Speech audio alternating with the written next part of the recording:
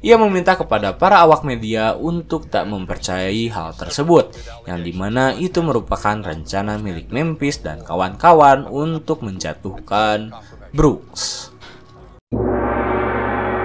Halo sobat, pintu teater 1 telah dibuka.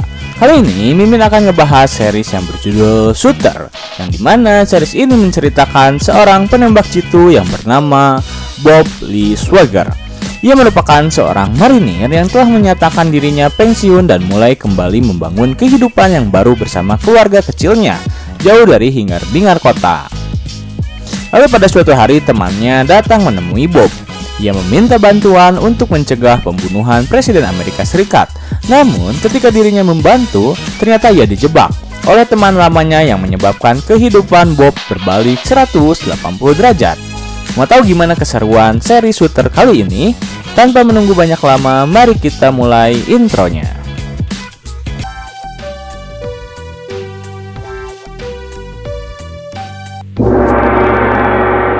Scene diawali oleh Memphis dan Isaac yang berhasil menculik tiga rekruter milik Atlas, di mana Memphis memiliki ide untuk memeras informasi dari mereka, yaitu berpura-pura menjadi manajemen baru Atlas. Karena seperti yang sudah mereka tahu jika Atlas telah hancur setelah markas mereka diledakkan oleh Carlita.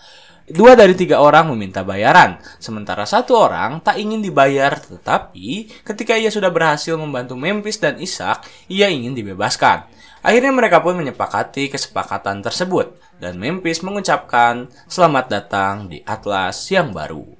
Kemudian Sin berpindah pada Ray Brooks yang diteror oleh Bob Lee saat Brooks sedang berada di acaranya, di mana ia melihat bayang-bayang dari Bob Lee, serta peluru yang dirinya pakai saat ia membunuh ayah dari Bob Lee. Setelah itu Bob Lee kembali ke markas dan bertanya pada Harris apakah ia bisa memasukkannya ke kongres yang akan diadakan Brooks. Dengan terbata-bata Harris menjawab jika ia bisa. Dengan beberapa dokumen yang harus Bob buat, ia pun bisa memasuki kongres dengan aman. Sementara itu keluarga Bob Lee memutuskan untuk pergi dari rumah dan berusaha mengasingkan diri untuk kabur dari pantauan Atlas. Mereka lalu memutuskan untuk pergi ke sebuah hotel, dibantu oleh kakak dari Julie dan tanpa sepengetahuan Bob Lee. Sementara Bob Lee saat di kongres ia bertemu dengan Red Bama senior yang mengancam keluarganya jika Bob Lee ingin bermain-main dengannya. Bahkan Red Bama senior tahu di mana letak keberadaan Julie sekarang, yaitu di Albuquerque. Setelah berbincang dengan Red Bama senior yang mulai mengancam, Bob Lee langsung menelpon Julie dan bertanya tentang keberadaannya.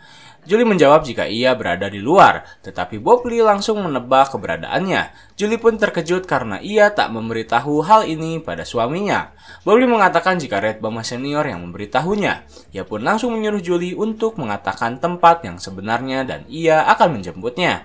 Namun Julie justru menutup telepon dari Bob Lee. Setelah itu, ia langsung kembali ke markas dan mengajak Haris untuk pergi bersamanya. Sementara, Isaac dan Memphis pergi ke tempat di mana mereka menyandra tiga rekruter Atlas. Mereka membebaskan salah satu dari mereka yang bernama Perota dengan begitu saja.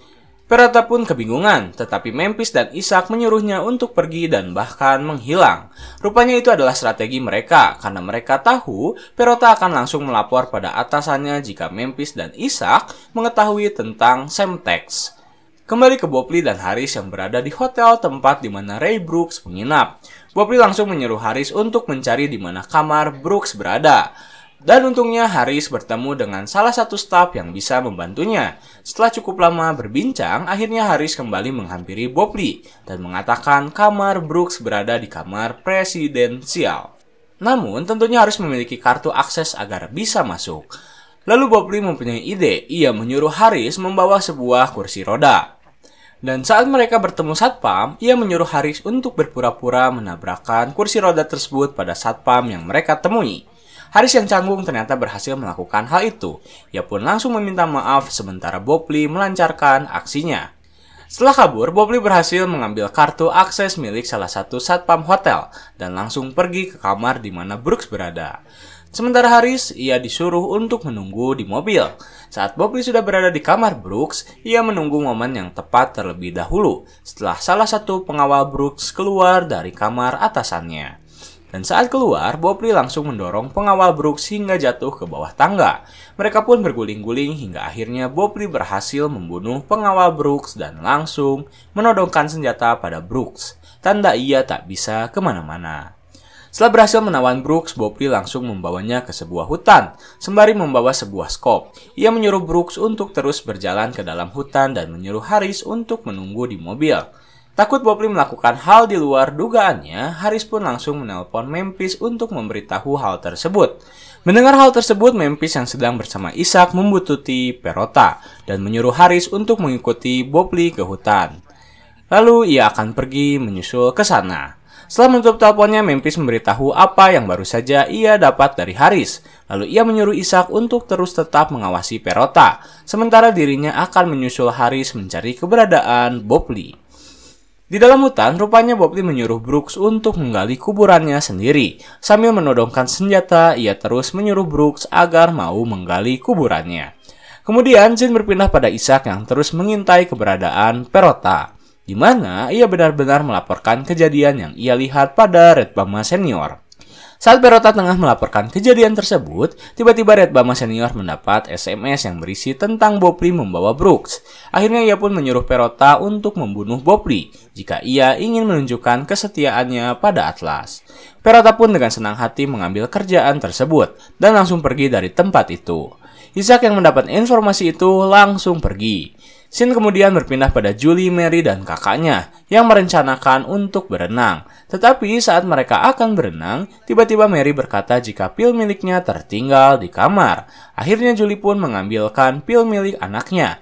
Tetapi di dalam kamar Julie, terlihat seorang pria misterius yang tengah mengobrak-ngabrik koper milik Mary.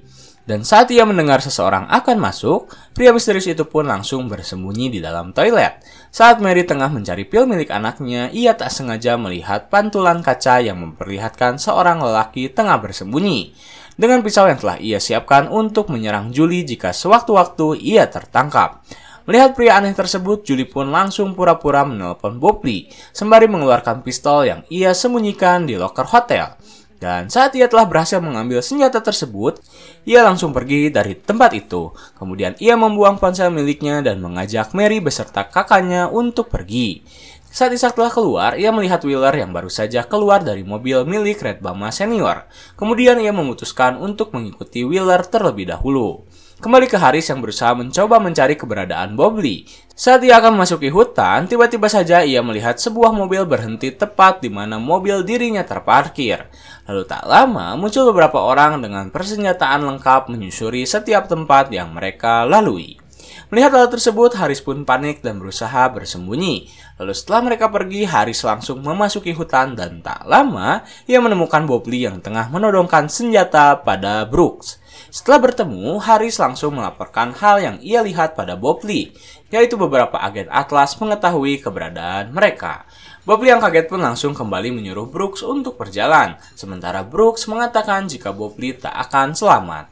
Kini mereka pun terkepung karena Bob Lee hanya memiliki sisa peluru sebanyak 5 buah. Akhirnya ia menyuruh Haris untuk pergi ke bukit. Tetapi saat Bobley pergi ke bukit, tiba-tiba saja Brooks berteriak jika Bobley hanya memiliki 5 peluru. Bobley pun langsung menghajar Brooks agar tak menjadi cepu lagi. Karena ingin membalikan keadaan dan Bobley tak bisa melihat keberadaan musuh, ia langsung menyuruh Haris untuk memancing mereka. Haris langsung bergerak sembari merangkak dan berhasil memancing satu orang dari mereka. Lalu Bobley menembak agen tersebut hingga tewas. Setelah berhasil membunuh satu agen, Wobbly menyuruh Haris untuk mengambil senjatanya. Tetapi saat Haris akan mengambil, tiba-tiba saja ia ketahuan oleh Perota yang langsung menyuruhnya untuk berhenti. Sementara itu Bobley langsung melindungi Haris dan menyuruhnya untuk menjauh dari situ. Brooks mengatakan pada Perota jika sisa peluru milik Bobley hanyalah satu. Ia menyuruh Perota untuk menembak Bobley. Saat Perota akan menembak, tiba-tiba saja Memphis datang bersama pasukan FBI yang langsung berhasil menangkap mereka semua. Tetapi akibat dari doktrin Atlas yang sangat kuat, meskipun mereka sudah terkepung, Perota tetap berusaha mengeluarkan pistolnya dan akan menembak. Akhirnya, dengan terpaksa Memphis serta beberapa agen FBI langsung menembaki mereka hingga tewas. Sementara Brooks tiba-tiba saja mengambil pistol milik salah satu agen FBI dan mengatakan, beginilah cara Patriot tewas. Lalu ia menembak dirinya sendiri. Kemudian scene berpindah pada Isaac yang sedang membututi Wheeler, yang rupanya sedang merakit sesuatu di sebuah gudang.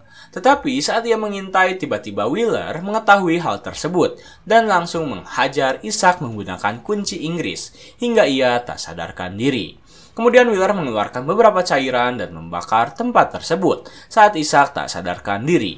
Sementara itu, Bob Lee yang telah berhasil menemukan jawabannya serta membuat Brooks mati, tiba-tiba saja ditangkap oleh tim FBI yang ditugaskan oleh agen khusus Biller. Terlihat rupanya Haris pun tertangkap karena ia terlibat. Memphis yang kebingungan langsung bertanya tentang Margo. Margo pun sama bingungnya dengan Memphis dan ia akan menanyakan hal tersebut pada agen yang mereka sebutkan. Saat gedung sudah hampir terbakar, Ishak tiba-tiba kembali sadar dan langsung berusaha pergi dari tempat tersebut.